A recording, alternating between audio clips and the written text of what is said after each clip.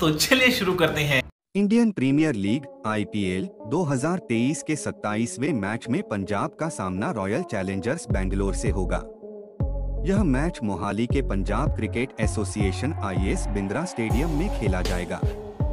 Royal Challengers Bangalore को पिछले match में चेन्नई सुपर किंग्स के खिलाफ आठ रन से हार का सामना करना पड़ा था। इस हार से रॉयल चैलेंजर्स बेंगलोर अंक तालिका में आठवें स्थान पर पहुँच गई है।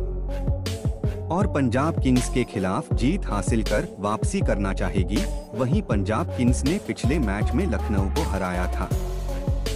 पंजाब किंग्स वर्तमान में अंक तालिका में पाँचवें स्थान पर है। एक और अच्छा प्रदर्शन उसे पॉइंट्स टेबल में और ऊपर ले जा सकता है।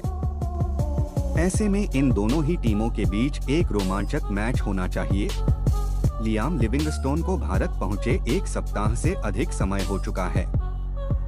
लेकिन नेट्स में बल्लेबाजी करते हुए मांसपेशियों में खिंचाव के बाद पंजाब किंग्स को वह अपनी सेवाएँ नहीं दे पाए हैं। खबर मिली है कि वह ठीक हो गए हैं और इस मुकाबले में दिखाई दे सकते हैं।